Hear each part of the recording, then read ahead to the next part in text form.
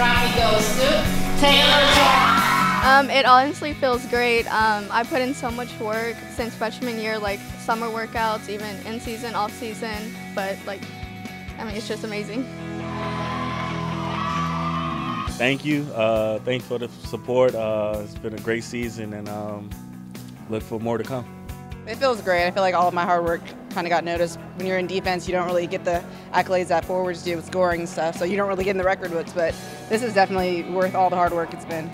It means a lot. Um, it's just something I've been, you know, I work hard, you know, year round just to be successful, to help out the team the best I can. It's just working hard, and uh, you know, Coach Petrell set a good uh, foundation. We're working hard, and should be more successful next year.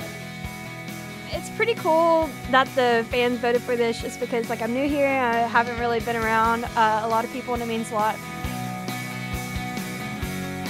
I always want to just make a difference on and off the field, kind of leave my mark and leave my legacy. It's a great honor, especially um, just being recognized as far as um, not only just as a football player, but as somebody who's trying to take steps forward, is making a difference in the community.